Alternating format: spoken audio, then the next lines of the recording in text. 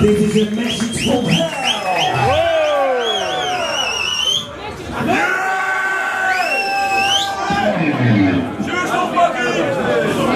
Lucky!